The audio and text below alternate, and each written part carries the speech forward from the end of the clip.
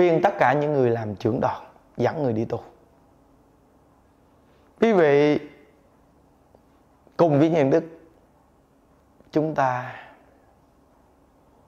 kẻ chèo người lái, kẻ lái người chèo, để đưa chúng sanh về thế giới cực lạc.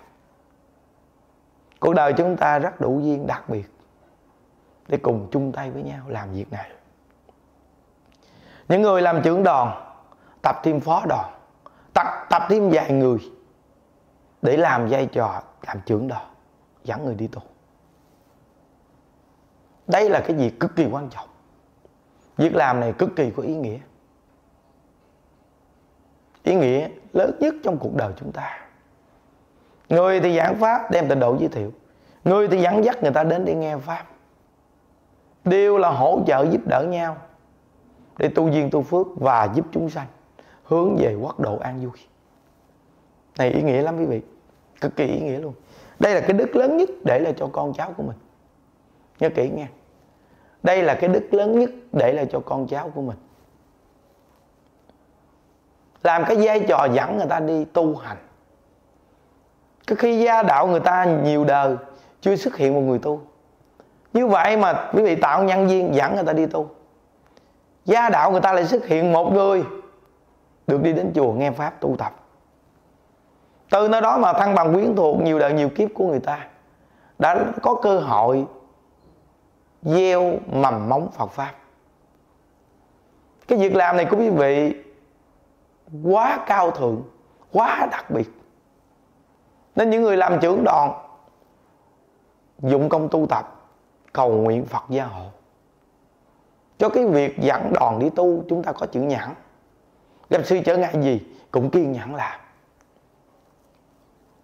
Quý vị biết rằng, việc những đức hướng dẫn quý vị dẫn người đi tu, đó là một cái việc làm mà những đức cho rằng nó quá tốt. Chứ không phải vì một cái lý do quý vị dẫn đoàn đi đến chùa tu những đức chi cầu cái gì đó quý vị à. Hãy nhớ kỹ điều này. Đừng bao giờ hiểu sai, nghĩ rằng cái công quý vị dẫn đoàn đi tu. Nhưng đứa không được quyền nói quý vị cái gì hết. Chỉ cần động đến quý vị, tôi khỏi dẫn đoàn đi đến chùa luôn. Vì đã sai rồi. Những đứa hướng dẫn quý vị dẫn đoàn đi tu là nhà đứa nói cái vai trò làm này cho quý vị là một vai trò ý nghĩa trong cuộc đời. Là chỉ điểm cho quý vị một cái việc làm cực kỳ tốt đẹp và ý nghĩa. Chứ không phải vì một lý do quý vị dẫn người đi đến chùa tu để những đức chi cầu được danh lợi gì cả. Không cái này chúng tôi tam bảo một trăm phần trăm. Những đức xin đưa thẳng hai tay lên rằng bản thân những đức chưa bao giờ suy nghĩ cái việc vì giảng đoàn để đến chùa để những đức chi cầu về danh lợi. Chắc chắn quý vị luôn. Nên có những người, trong lòng họ không vui một chút, họ nói rằng, khỏi giảng đoàn đi đến chùa tu nữa. Quý vị suy nghĩ như thế nào cũng tùy quý vị. Nhận thức được cái việc làm này là ý nghĩa thì cuộc đời chúng ta thấy mình mừng và biết ơn. Biết ơn vì cuộc đời mình đã làm được những việc ý nghĩa này. Và có một ngôi chùa giảng pháp thường xuyên, hướng dẫn tu tập được. Mình có cơ hội để dẫn người đi đến đó để tu tập. Và làng quê của mình mình dẫn người ta đi tu.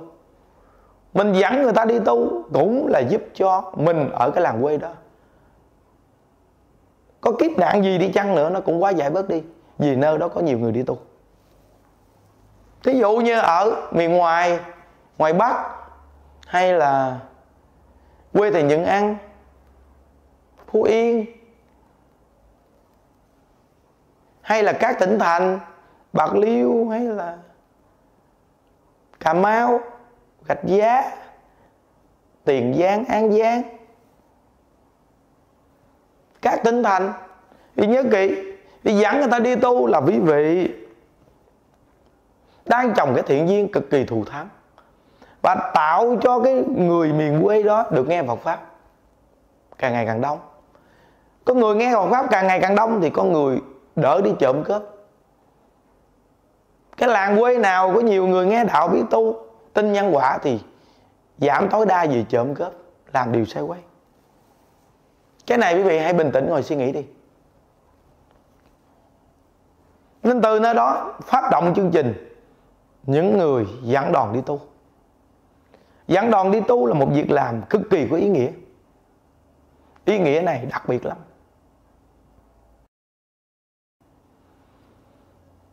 Chúng ta rất mừng là có một ngôi chùa mà mình dẫn người ta đi đến đó tu mà người ta giảng pháp cho mình nghe. Giảng pháp cho những người được đi đến chùa đó nghe. Người ta nói về nhân quả, nói xác thực, nói gần gũi. Nếu gặp một con người nói cao xa, vì dặn một lần người ta cũng không đi nữa. Hoặc ta đi đến chùa, người ta không có sự an lạc gì, làm sao người ta đi? Nên tất cả những vị trưởng đoàn khắp nơi nơi phát động chương trình lên. Phát động chương trình lên. Để dẫn người đi tu. Đây là một việc làm cực kỳ có ý nghĩa. Ý nghĩa lắm. Mỗi một người phải nhận thức cực kỳ sâu sắc vừa chính mình tu tập được, mà vừa vừa dẫn dắt người ta tu tập được. Vì nhớ, mình làm trưởng đoàn dẫn người ta đi tu, mình càng tu nhiều hơn người ta. Mình nhẫn càng nhẫn hơn người ta. Mình vui càng vui hơn người ta. Mình bao dung càng bao dung hơn người ta. Mở tâm lượng càng mở tâm lượng hơn người ta. Vì mình là trưởng đoàn, giống như cái câu, ngoài đời quý vị làm đại ca người ta. Quý vị phải bảo bọc, phải lo lắng cho người ta. Quý vị phải có tâm quyết hơn người ta thì quý vị mới làm đại ca của người ta chứ. Đó là câu thế gian. Còn quý vị dẫn người đi tu tập thì quý vị làm trưởng ban, dẫn người đi. Là người cầm đầu dẫn đi. Thì vị phải giữ dằn hơn người ta mọi mặt. Thì vì vị làm trưởng đoàn.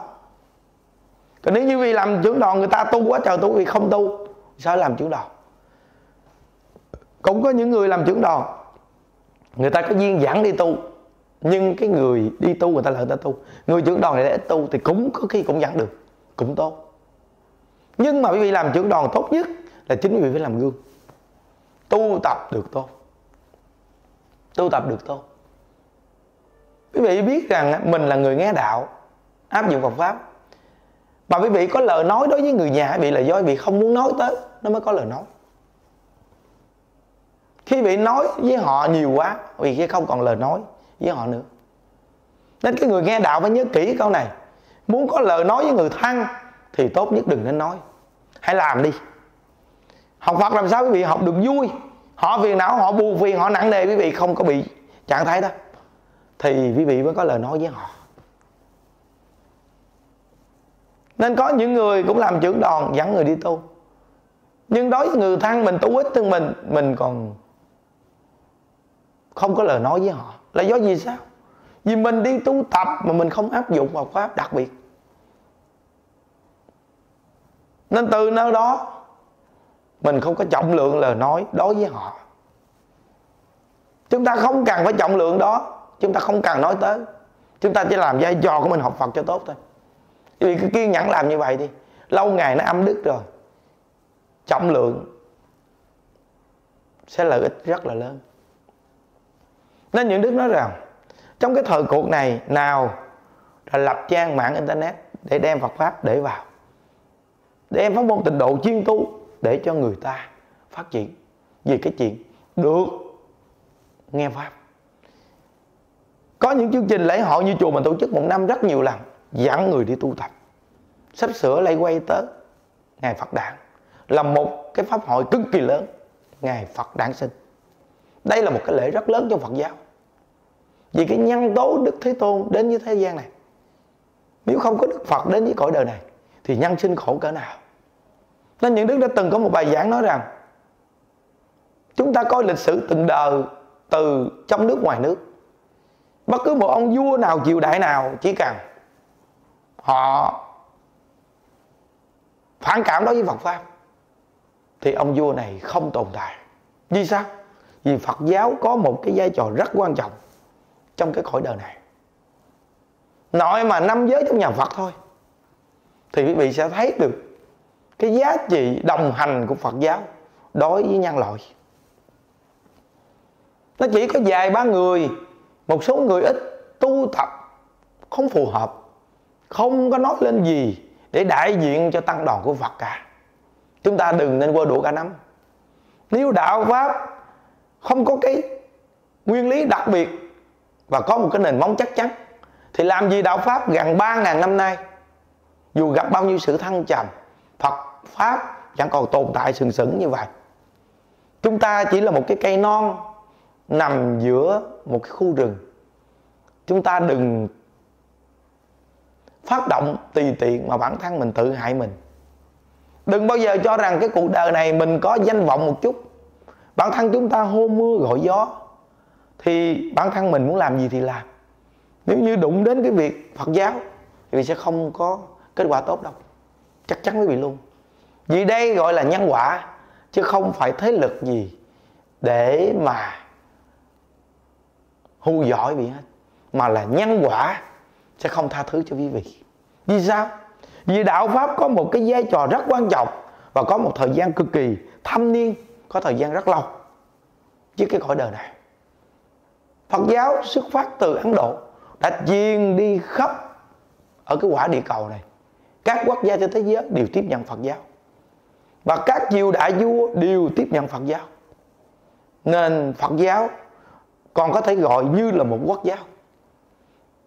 Nên một số người đi xuất gia tu hành làm một số điều không phải, không nói lên gì với tăng đoàn của Đức Phật được không đại diện được.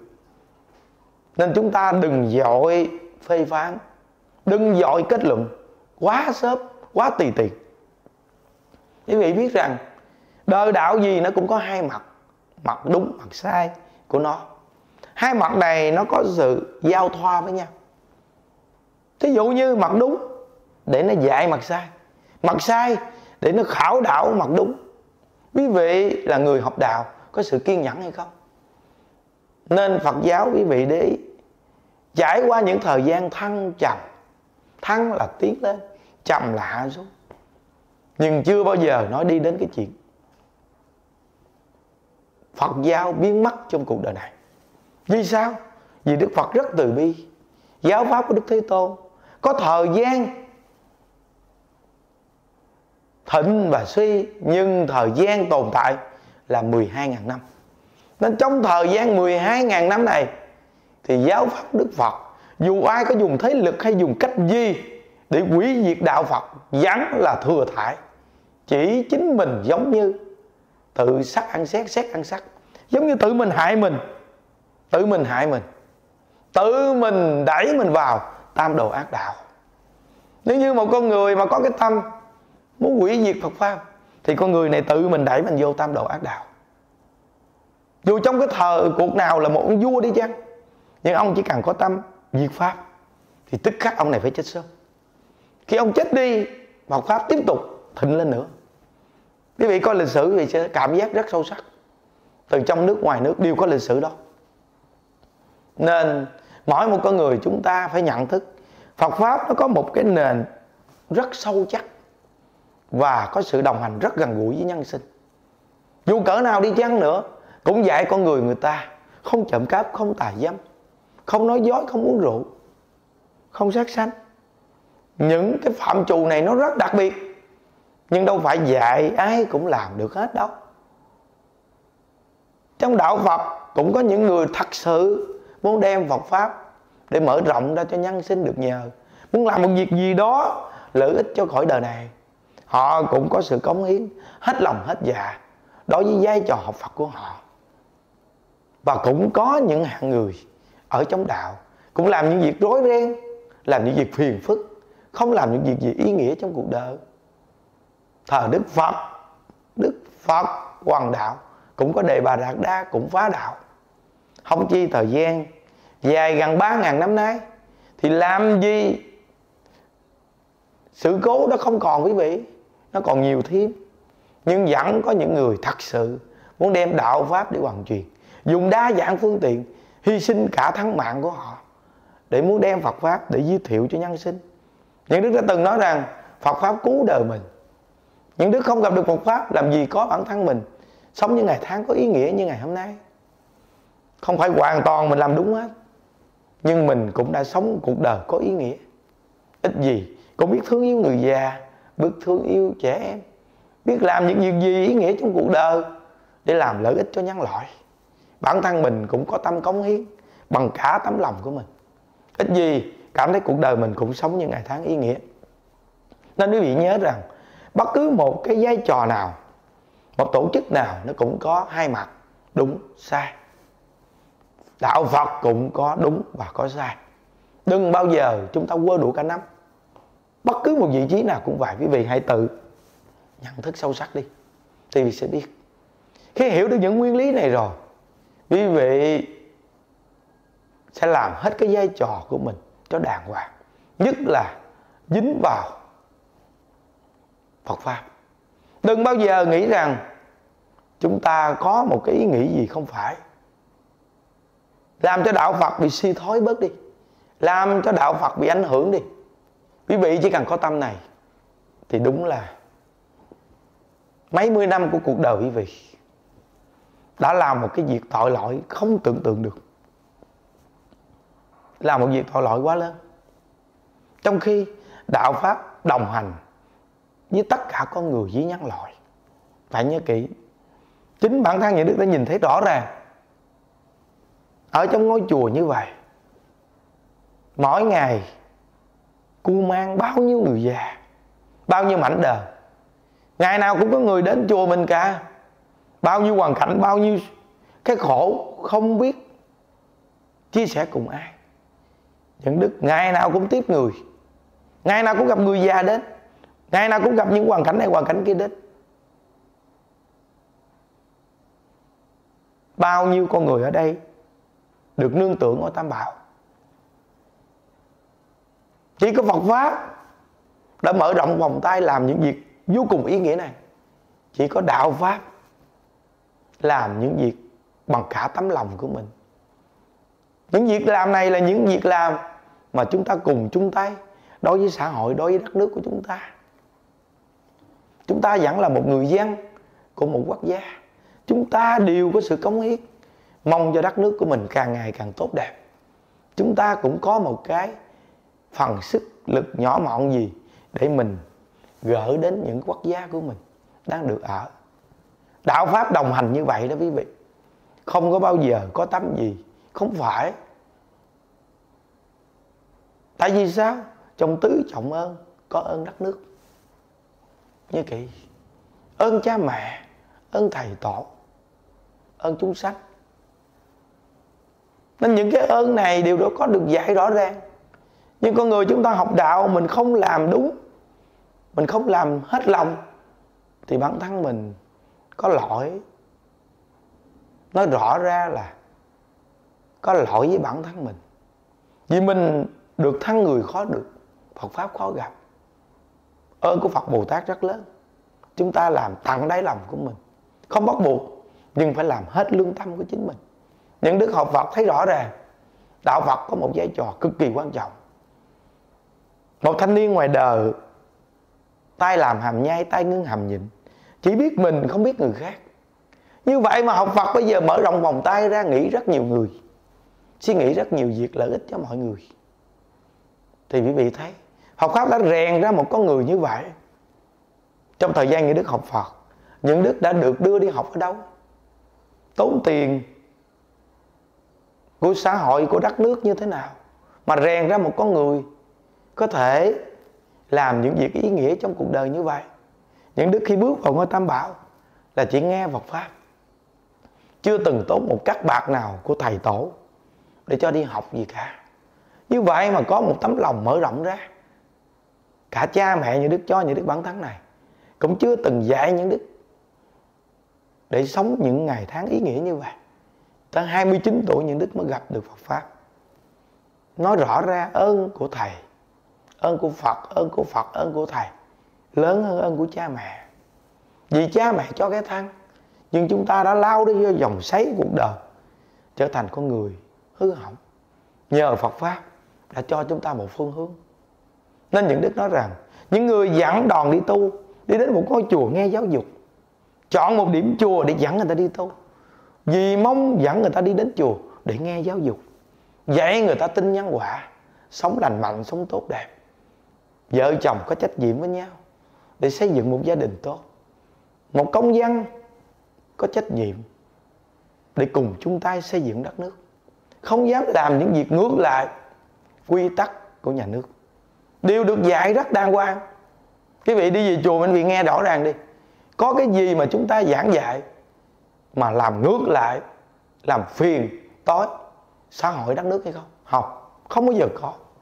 Chúng ta chỉ khuyên người sống thiện, sống tốt khuyên người sống ý nghĩa trong cuộc đời. Khuyên người ăn chay niệm phật. Khuyên người phóng sanh. Khuyên người bố thí cúng dường. Khuyên người làm việc thiện. Khuyên người cho gạo người nghèo người khổ. Khuyên người thấy nơi nào thiếu nước, chung tay với nhau. Lá lành đùm lá rách, con người phải thương con người. Vì bản thân của mình cũng muốn người khác thương. Thì trước nhất mình phải thương người, thì người mới thương mình chứ đạo pháp rất rõ ràng mà quý vị. Cực kỳ rõ ràng. Nên mình làm trưởng đoàn, mình dẫn người đi đến một cái ngôi chùa mà nghe pháp, nghe đạo. Mỗi tuần thứ bảy, chủ nhật, dịp lễ, phật đản sắp đến để dự chương trình. Rồi phật đản xong rồi, tới chủ nhật, chúng ta lại tổ chức. Tưởng nhớ đến ngày sinh của bác hồ. Năm nay ngày sinh bác hồ ngay chủ nhật nữa chứ.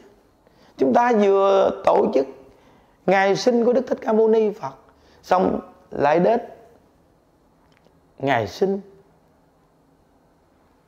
của bác hồ kính yêu. Chúng ta được có cơ hội tổ chức những chương trình nói lên cái ý nghĩa của một con người, một bậc vĩ nhân đến với cuộc đời này. Con người cũng là một con người đến với cuộc đời này. Nhưng mà một con người đi đến với cuộc đời này thì rất ý nghĩa. Một con người đi đến với cuộc đời này lại đi chích xì ke ma tí chỉ biết lo cho cá nhân của mình. Đó là những ý nghĩa khi tổ chức những chương trình. Nên những đức cũng từng nói rằng, những ý nghĩa mà những đoạn đường chúng ta đã đi qua, tên đường võ thị sáu, hay những tên đường của những bậc vĩ nhân với cái cuộc đời, làm những việc ý nghĩa trong cuộc đời, ghi tên của họ vào con đường đó. Chúng ta đi trên con đường đó để làm chi? Để nhắc nhở mình. Bản thân của mình phải học theo những tấm gương những con người vì dân vì nước, những con người cống hiến cuộc đời mình cho xã hội, cho đất nước. Đi lên con đường, tên đường đó là một nền giáo dục. Nên chương trình lễ hội tổ chức cũng là một tư tưởng giáo dục để nhắc nhở mình sống phải như thế nào, làm những việc gì để học theo những bậc vĩ nhân này đã từng cống hiến, hy sinh cả cuộc đời của mình cho nhân loại. Đó là ý nghĩa rất là cao thượng quý vị à ý nghĩa rất cao thượng. Nên những người dẫn đoàn đi tu, biết dẫn đi tu, biết dẫn đi đến đúng nơi, đúng chỗ, thì sự lợi ích của dẫn đoàn cực kỳ lớn. Như những đức nói, một vị chủ trì mà biết thỉnh mời người giảng đạo, đúng phù hợp, thì đúng vị chủ trì này có trí tuệ rất lớn. Một vị chủ trì, nếu nói về câu thế gian, cũng như một một vị mở trường học. Một vị mở trường học mà vị này có trí tuệ để mời thầy cô giáo đàng hoàng đến để giảng dạy cho con em người ta. Thì người mở trường học này quá đặc biệt. Như một vị chủ trì chùa đã xây được một ngôi chùa mà biết thỉnh mơ những bậc giảng pháp, giảng sư đến để giảng đúng giáo pháp của đức phật để cho con người ta được lợi ích. Thì đúng là quý vị rất có trí tuệ. Đây rất quan trọng. Giống như quý vị làm trưởng đoàn dẫn người đi tu cũng vậy. Biết dẫn người đi tu, đi đến nơi nghe đạo, nghe pháp, được lợi ích đây là một vai trò làm việc của quý vị. Cực kỳ có ý nghĩa. Việc làm cao thượng, việc làm hướng thượng, việc làm ý nghĩa của đời người mấy mươi năm. Và bản thân mình cũng có phương hướng tu tập, hướng đến giải thoát. Nguyện tam bảo gia hộ cho quý vị, gây dựng tính nguyện kiên cố niệm phật cả đời không thói tâm sống tốt, sống có ý nghĩa. Và cuối cuộc đời chúng ta đều hẹn gặp nhau ở thế giới cực lạc. Chúc quý vị an lạc. Ai di đà phật nguyện đem công đức à, này hướng về khắp à, tất cả đệ tử và chúng à, sanh, đồng sanh về tịnh độ Thank you.